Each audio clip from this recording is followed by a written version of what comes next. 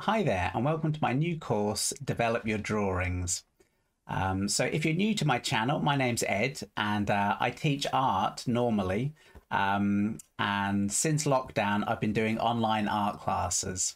So last year I did a course on landscape painting and um, a month or so ago I did another drawing course um, called How to Become a Better Artist by Practicing Drawing. So you can find both of those courses on my YouTube channel. Um, if you just find the playlist, um, you should find all the lessons there. So this is a brand new course and uh, it sort of builds on what we covered in my last course, but it will be excellent as a standalone course if you haven't done any drawing before. Um, so it's really about taking um, some of the ideas and developing them through the use of projects and assignments. So the way it's going to work is each week I'm going to do a demonstration and I'm going to do my best to explain some of the ideas and the theory behind why I think um, this demonstration will be a great exercise for you to practice. So then each week you can practice what I've shown at home, um, maybe take the idea further. So all of these assignments could be developed into quite long lasting projects. So they're really just ways to get your ideas going. Um, but yeah, you can practice each one at home. And then on Thursday, you can send me in any work that you do. And uh, on Friday, what I'll do is I'll upload a video and give you some feedback. Okay, depending on how many people send work in, um, I'll try and get through as many people as possible. But looking at other people, seeing how other people are approaching each of the assignments, I think is a really useful way to learn. Um, I find in my classes, although I help my students quite a lot, they get a great value from um, seeing other students work and uh, seeing other people, you know, at a similar level, um, sort of battling with the problems that they're working on. Anyway, so my last course was really um, specifically about drawing and the um, some of the ideas behind drawing. Um, and in this um, course, what I'm hoping to do is introduce a bit more colour. Um, so we're going to do a few color exercises and a few drawing exercises. Okay. Um, now you don't have to worry too much about materials. Um, I have put a link below um, with some of my materials that I suggest that I like to work with. Um, but you don't need to go out and buy yourself a massive set of watercolors. If you have a little watercolor set, that will be fine for what we're going to be doing. Um, obviously, if you want to start building up your watercolor set, um, then you know by all means, um, you know have a look at what I've suggested. You might get some ideas there. I do think for watercolors though, getting good paper really does make a world of difference. So I've got some um, Saunders Waterford paper um, that I'm going to be using, and I really recommend that. You can buy that on Amazon. Again, the link's below. Um, just as long as you've got nice, good paper, you'll get much better results, and that's going to um, help you. You know, you're not going to become dispirited too early. Um, in my art classes, normally I used to encourage my students really just to focus on oils and acrylics because I found that watercolors could be probably the hardest medium for people. Um, especially if you haven't got that grounding in the ideas of value and simplifying and all these things, simplification becomes much more important when it comes to watercolors. But we're going to cover some exercises that will hopefully um, sort of get you in the mood for that. So let's make a start. This week we're going to be looking at working with watercolors and we're going to be looking at how to simplify um, your reference material uh, to make great subjects to explore watercolors. Um, and we're going to be looking at an exercise called mingling. Um, mingling is to do with where you take colours and you drop them into each other, and it gives you really interesting effects. And I'm hoping um, by the framework I give you with the assignment, you're going to be able to go off and just sort of play with this idea over the week and just see what you come up with. Okay, so look forward to seeing how you get on over the course. You can always email me, contact me, leave messages below. Always much appreciated. If you are new to the channel, then please remember to uh, like and subscribe. It really helps me sort of build um, build the channel and reach a wider audience. Anyway, so let's make a start. So I've just made this short video showing you the materials I'm going to be using today for this demonstration. As I say, this is the Saunders Waterford paper, which I really recommend. Um, I don't need to stretch it for the exercises I'm doing. And this, this is my uh, Pelikan uh, watercolor set. Um, I saw one of my students using this at Otley College and I bought a set and I've really enjoyed using them. Give very dense colours for uh, pans, uh, watercolour blocks. And this is just an assortment of brushes. So you can spend a fortune on watercolour brushes, but I've just got a variety there, different sizes, um, some good, some not so good, but they'll, they'll do the job for what we need to do. Okay, so that's what I'm going to be using. Okay, so this first exercise, this is the minglings. So I've got my uh, watercolour paper and I'm just going to start by dividing it up into some spaces. So I think we do three lines horizontally and then, what was it, another three. So that's just breaking up the page basically. So we don't want to, we're going to be experimenting with different colour combinations really. Now the exercise I borrowed this from used a chicken motif. Um, so you'll see um, that these look ever so slightly like a chicken, some more than others. Um, you can copy that at home if you like. Um, just to help me out with it, I did look at a um, a weather vane. Just a, a weather vane's great because it's usually just a um, a cutout of a, in this case, a cockerel. but really, what you want for this is you want a, a fairly simple shape um, that is going to read as a silhouetted form. Okay, you could use it. You could just do it with an apple or a pear or something like that. Okay, so this is me making a start. So what the exercise involves is, what I'm actually doing is I'm using two brushes. And so what I want you to do is you use one brush, you get one colour, um, and you make a start, and you do half the uh, the chicken, and then the other half of the chicken is done with another colour. Uh, using the two brushes helps to keep the colours clean. And then what you're doing is you're just trying to draw these colours side by side and you're allowing them to mingle. Um, now, some of the colours will mingle better than others. Um, like that one really sort of flows into the yellow and we actually get a nice green emerge. Um, and I'm just, what I'm doing here is I'm just going through my palette and just trying different combinations. If you had a bit more time than me, you could actually write some notes as to what colours you were using. Uh, other things you need to be aware of is the amount of water on your brush. Okay, um, you don't want too much water to pool at the bottom. Um, also, as the water drains out, it can occasionally desaturate your colour. These are all sort of skills that are really useful to learn with watercolours. So this exercise allows you to practice quite a wide variety of skills um, that will come in useful as you start to use a medium that may not be familiar to some of you. So I'm just trying out different combinations and uh, say the interest here is really just how these colours sit together. One of the things with watercolours is you're trying to get the watercolours to, you're trying to set up the conditions so that the watercolours will do some of the work for you. Um, and if you were using oils to mix gradients, it can take a long time mixing all these intermediary steps. With watercolours though, if you set them up uh, side by side, they will mix sort of fairly independently and create these amazing mixes. So what I really want you to do with this is just to have a play, okay? Pick a simple design and just play with dropping one colour into another.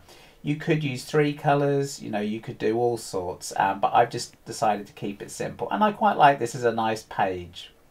Um, so this is what I want you to do and just try and have a bit of fun with it really. Now, what I'm going to be doing is I'm going to be using the mingling to create more um, sort of um, elaborate sort of designs. And what I wanted to show you is this. Um, this is what I want you to do to simplify your reference material. So you've collected some reference, could be a subject you're interested. I've picked some landscape themes and some portrait themes. And this website I found, Pine Tools, it allows you to use something called Threshold. And as you can see, I've just dropped in, I've uploaded my file, and then I'm using Threshold, and then that scale up there is creating a black and white version of my reference material. Now, hopefully this should be straightforward enough for you to use, but if you get stuck, you can always email me. Um, it means you don't need to have Photoshop or any advanced software. You can just go onto this website, drop in your reference, And what we're looking for is we're looking for pictures that stand simply as black and white designs. This is going to become really useful for us when we're doing watercolours um, because we can, what we can do is we can apply our mingling theory to simply the black areas and leave the white areas um, as open as blank page. Okay, so here's another reference. Now you see this is uh, from I think Peaky Blinders and um, reference material from films usually has this very strong lighting. And as you can see what it does is it creates a nice simple black and white pattern that reads very effectively as a portrait okay? So I'm just playing with different levels there but you can play around with it and sort of find a nice balance. Um, as I say when I talked about tonal values, um, being able to break your um, your subjects down into very simple tones, in this case just black and white or black, white and grey, this is a great skill and very useful going forward with painting or drawing. So this is Clint Eastwood. Again, the strong lighting makes it perfect for this sort of subject. And what we have is we've got a very a fairly simple arrangement of light shapes and dark shapes but combined um, we get this you know we've basically got our portrait there just in these black and white designs.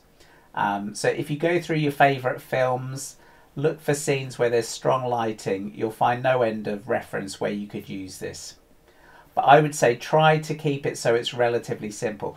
You probably won't get this if you use family photographs. Um, you need that strong directional lighting to get this effect so I'd, I'd encourage you to play around with it. So say you just drop in your own reference material, you play around with the threshold, um, and then you save the image.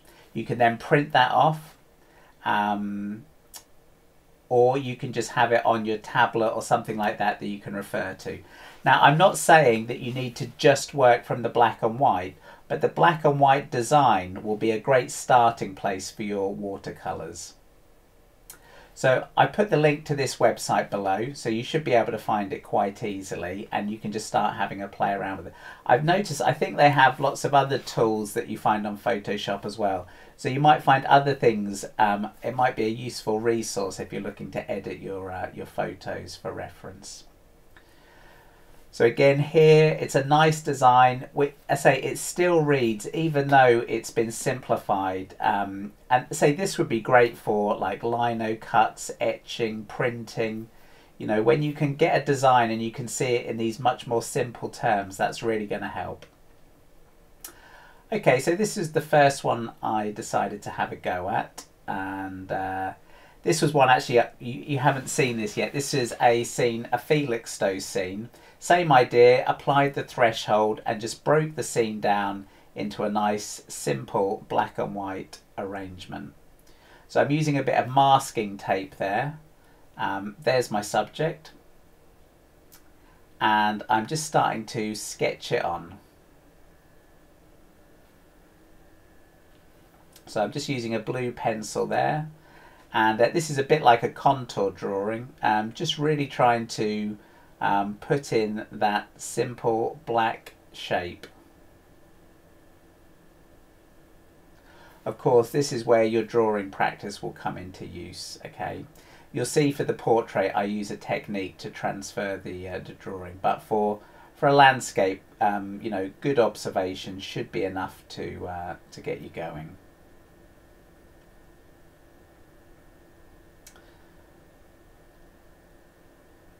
And as you can see from the black and white image already, it's instantly readable, even though it's just two, you know, two tonal values.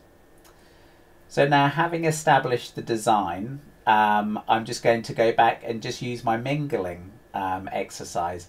Now, the mingling exercise, there's lots of different colours you could combine and I just, um, I picked a complementary arrangement here of blue and orange.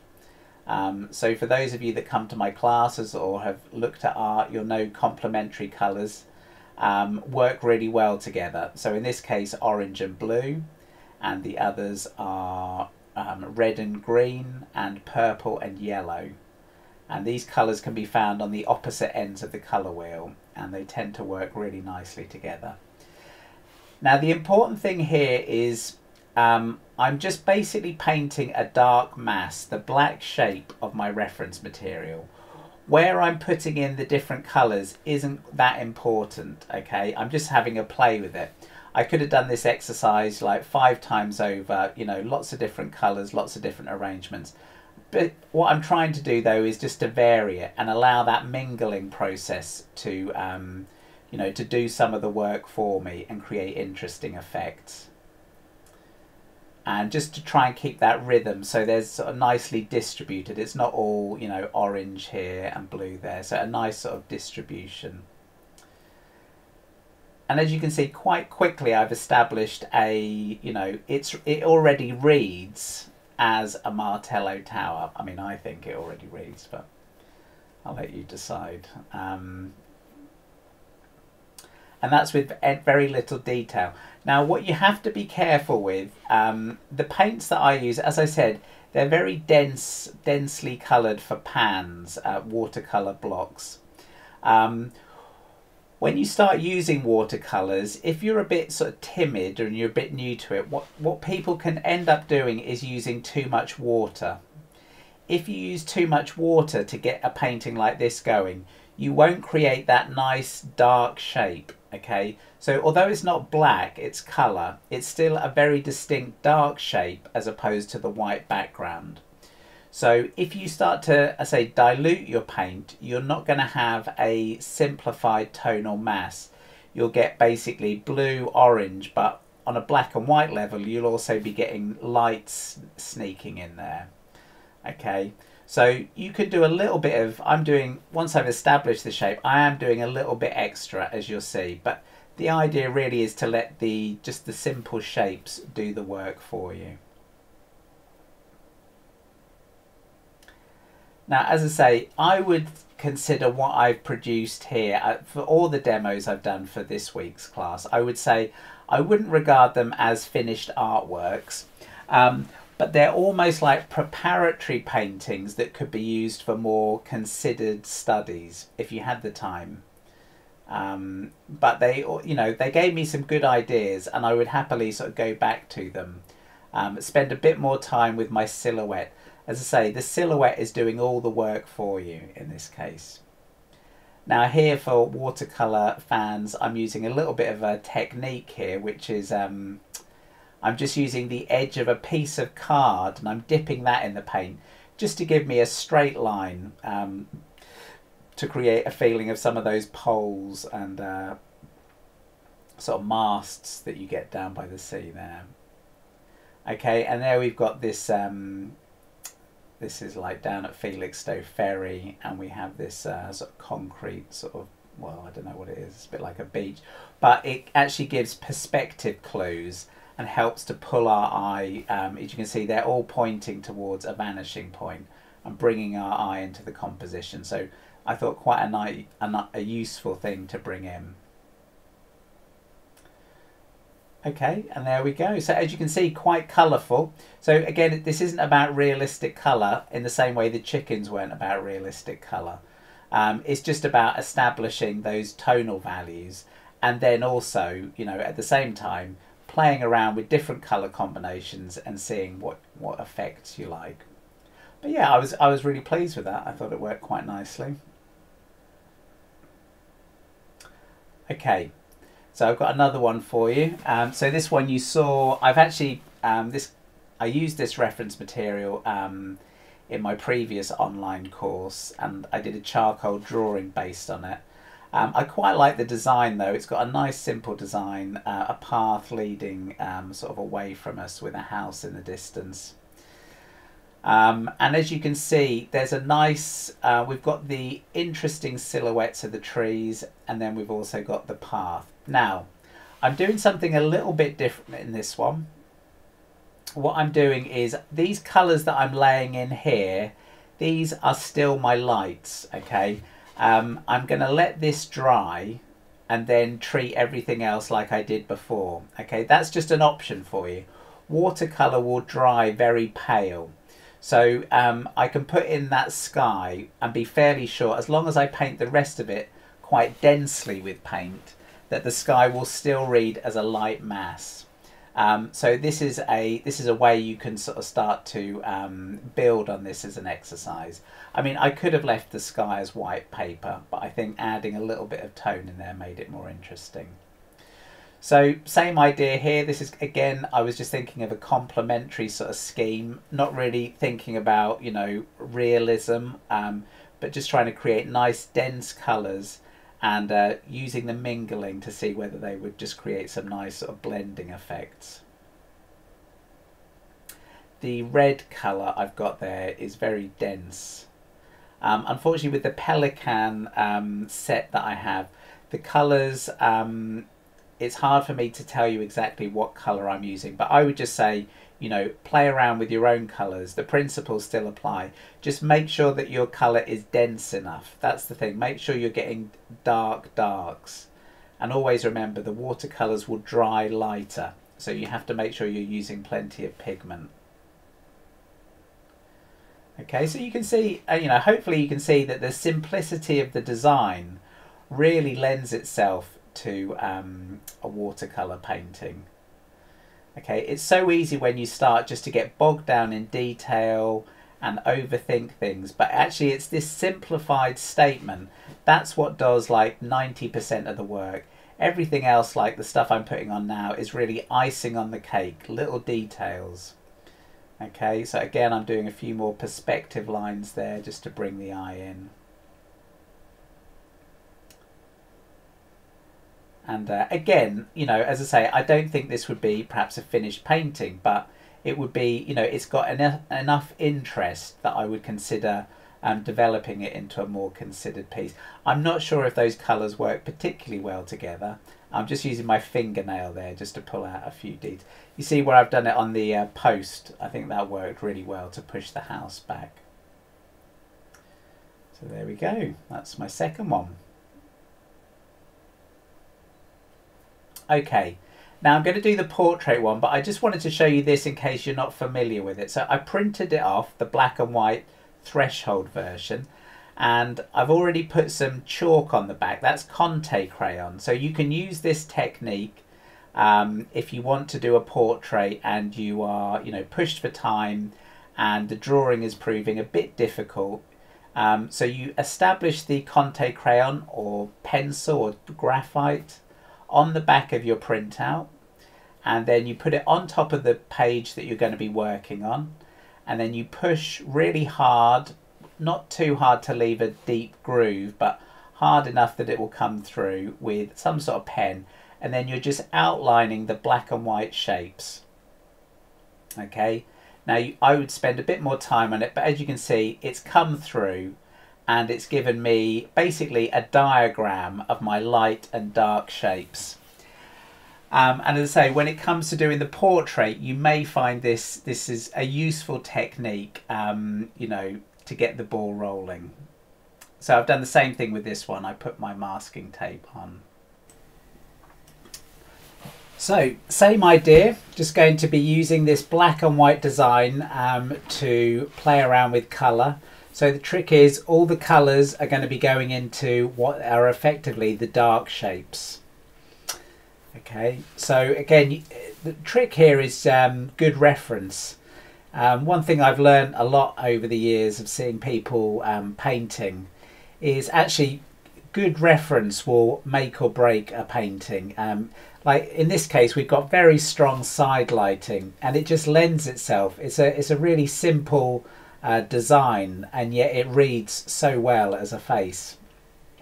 Um, so this is why you know finding good reference is a bit of an art form in itself. Um, but you know that's why we look to the experts, look to films, adverts, um, famous painters. You know, a lot of people have gone before and found the things that work. Um, so the more you can borrow from them, uh, the better.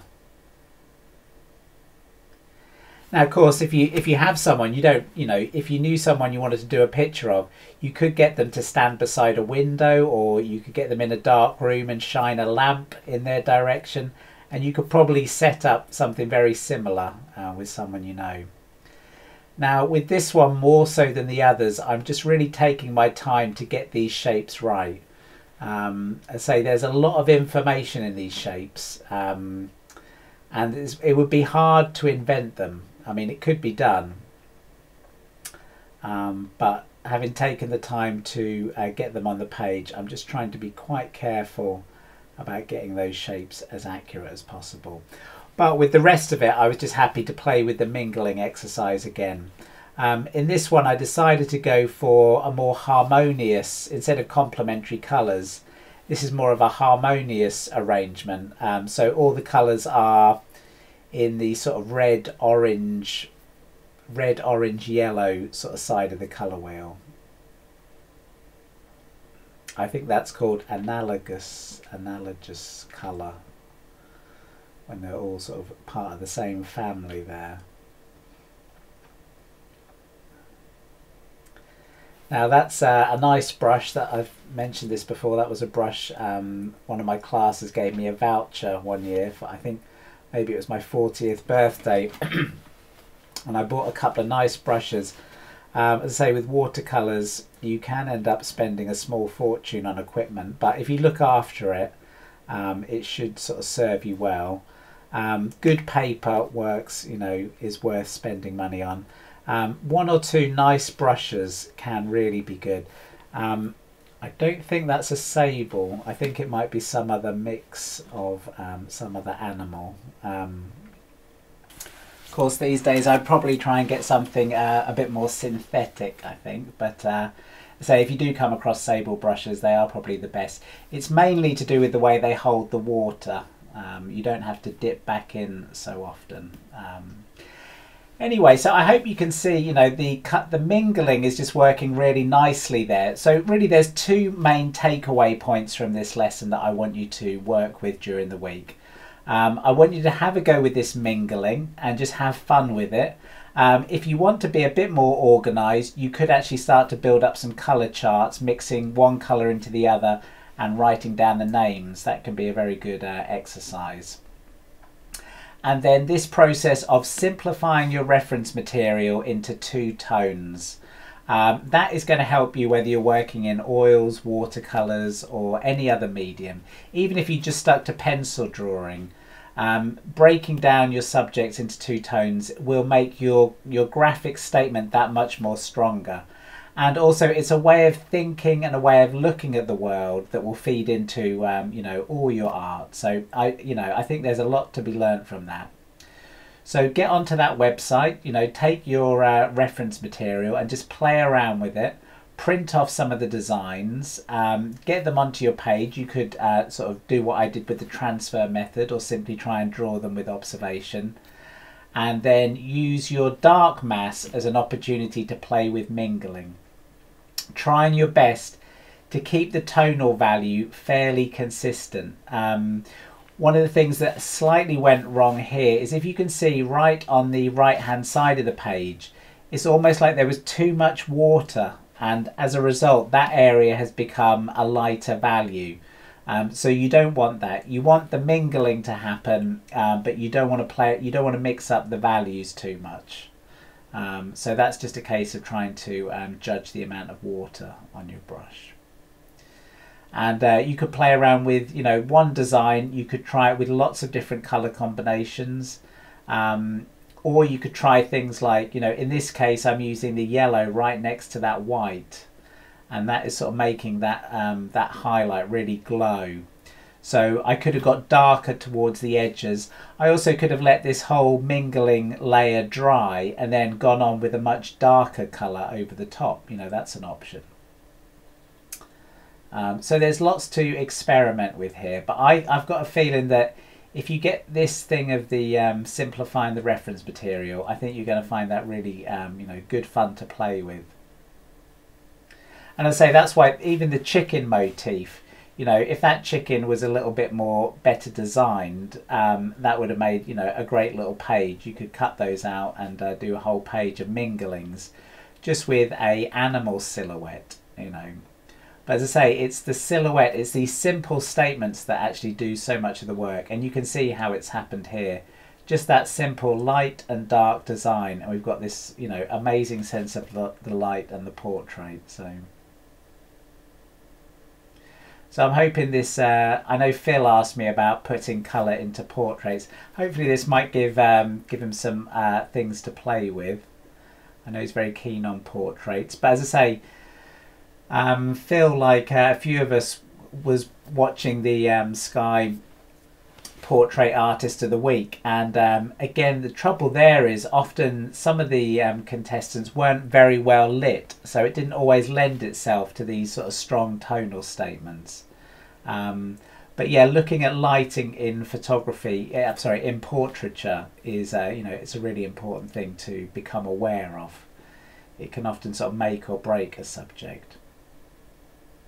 Anyway, so there we go. Now, as I say, there's more I could do with that. I could certainly work into it, or like my other ones, I could have started to work into the lights.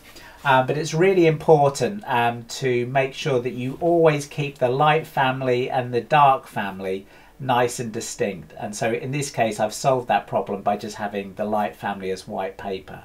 As um, soon as you start to go into the whites, you're going to start to muddy the idea. So there we go, that's the final version. So plenty to be getting on with this week. Um, let me know in the comments if there's anything that you're not sure about. And uh, I really look forward to seeing how you get on with it. Thanks a lot. Bye.